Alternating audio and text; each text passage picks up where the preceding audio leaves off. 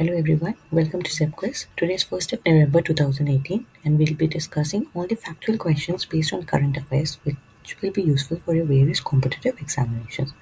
So let's go to the first question. How many Indian states share a border with Bangladesh? This is a very important question. So your options are A5, B6, C7, D4. The correct answer to this is A5. The states which are bordering Bangladesh are, if you start clockwise, it would be West Bengal, Assam, Meghalaya, Tripura, and Mizoram. So your answer is A5.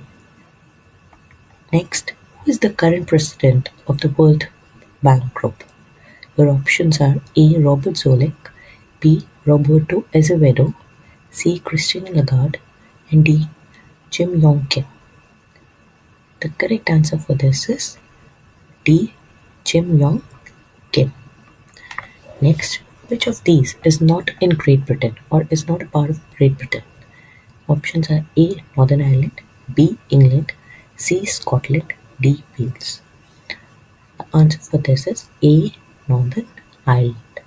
All the other form part of Great Britain, that is England, Scotland and Wales. Next, so from the map we can see uh, UK and the United Kingdom and the British Isles, Great Britain, which is also known as Britain, is the largest of these islands. It includes England, Scotland and Wales, but not Northern Ireland or the Republic of Ireland. Next, what is the capital of Brazil? Your options are A. Rio de Janeiro, B. Brasilia, C. Sao Paulo, D. Belo Horizonte. Correct answer for this is B. Brasilia. As we can see from the map, Brasilia, which is the capital of Brazil, the North Atlantic uh, Ocean and the South Atlantic Ocean border Brazil. Next, who is the current Health Minister of India? Options are A. Jagat Prakash Nadda, B. Suresh Prabhu, C. Rajnath Singh, D. None of, none of the above. Sorry. So the correct answer for this is A. Jagat Prakash Nadda. He is Mr. J.P. Nadda, who is the current Health Minister of India. Next, the Kaziranga Wildlife Sanctuary is located in which state? The options are A. Assam, B. Odisha, C. West Bengal, D. Madhya Pradesh. The correct answer for this is A. Assam.